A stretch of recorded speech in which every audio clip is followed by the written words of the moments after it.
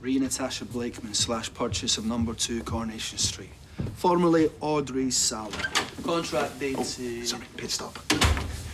Gotta Lou, the social worker around. Elsie's gone through scrap paper at a rate of knots. Buy the kid a colouring book. Push the boat out. Buy the box of paints. Or is that too ready-made for Toyah? There wasn't a witness in the room, I'd slap you right now. Nice to know I'm good for something. Who rats on a colleague, even if you hate them? I'm sorry? You will be. I've just been hauled in by my head of chambers. Alleged misconduct in office. They've stood me down from all my cases. I don't know what this has to do with me. I reported me to the Bar Standards Board. Sabeen, All my cases. That means passing on Harvey Gaskell's appeal onto another barrister in chambers.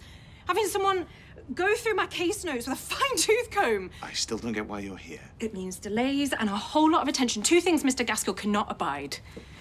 Don't think I will protect you when he asks. Your conscience may be clear, Imran, but you have just made a very serious enemy in Harvey.